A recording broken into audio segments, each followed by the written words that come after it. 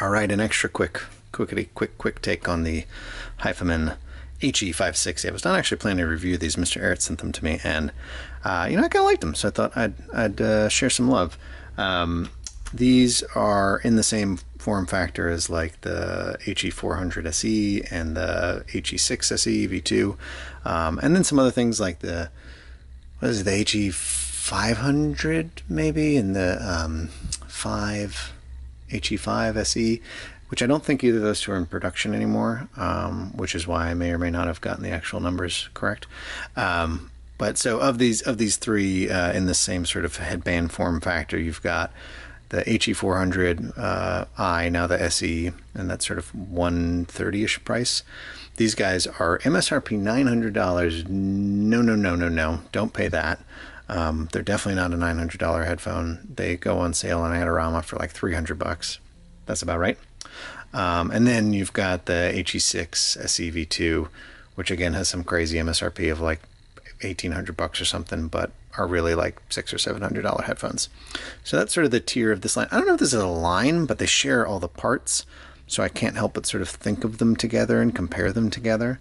Um, they all have the 3.5 millimeter connectors. Yay.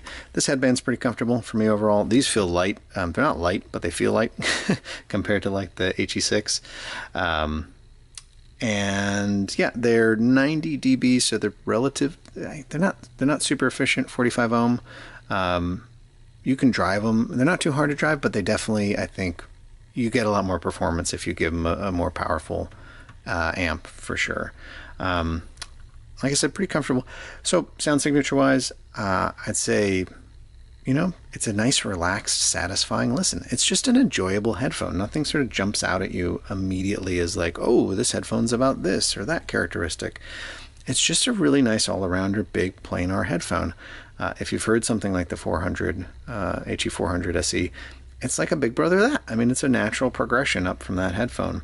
You know, it's got that HiFiMan sort of smooth, kind of rich tonality of, of, you know really leaning into that planar sound. Um, I think what stands out for me are like the the lower mids have a nice thickness to them, and then sort of the treble region, the twangy region is pretty twangy, um, and that's a nice comp. You know, that's a nice. Uh, they, they complement each other well.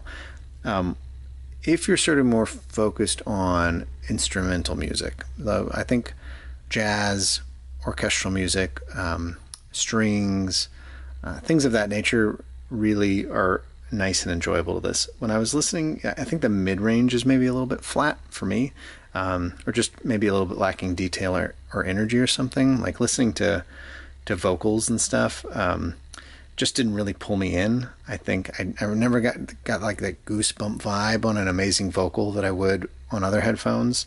Um, and sometimes I wanted it to be a little snappier, a little, a little quicker, a little more impact. Um, but again, maybe that's not really what this headphone's about, you know? Uh, maybe this headphone is about just that kind of all day listen that's like, you know, never really unsatisfying, never really, you know, pulling your attention or driving you crazy, just kind of like letting you jam and enjoy the music. And, and I think there's should be room for that in the listening world. Um, if you look at something like the uh, HE6, you know that's going to be a lot drier, a lot sharper, a lot crisper, bigger sound stage, more impact.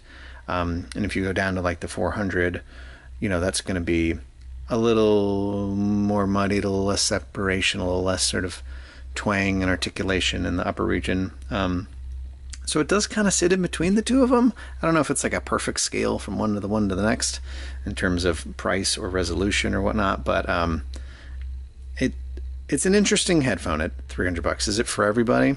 I don't know. Um, used for 200 is it for everybody? Maybe.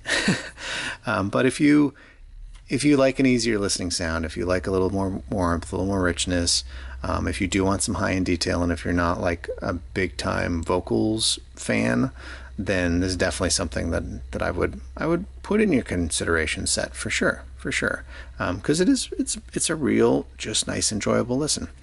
Um, is that like the worst thing you could say? It's like it's a real nice enjoyable listen. All right, good enough. Sine Craft signing out.